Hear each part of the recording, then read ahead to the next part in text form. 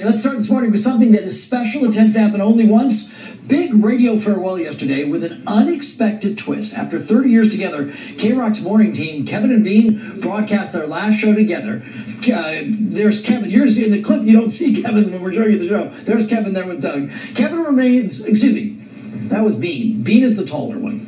Okay. Kevin stays. Bean is bailed. Yesterday was better for him. Yes, plan to move to England. There are several members of the radio family, including Allie Mac Kay, who will remain with Kevin in the show.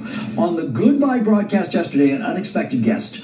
26 years ago, another KROQ sidekick, Poorman, pulled a prank.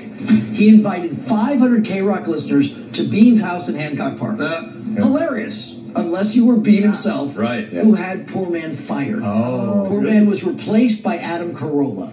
Oh. Adam and Jimmy Kimmel were in studio yesterday, and who pops up on the phone? Oh. The Poorman. Oh.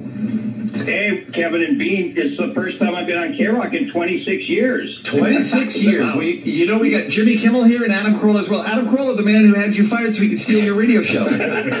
Yeah, you- thank, thanks a lot, Adam.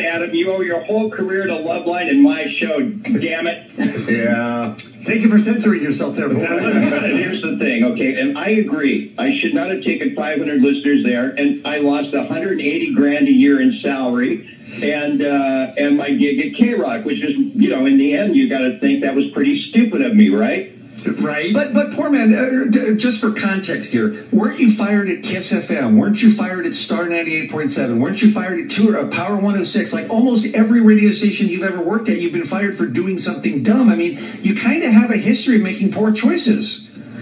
Uh, it is well, in the name. also, Poorman, you got a buck eighty. They started me at sixty-five.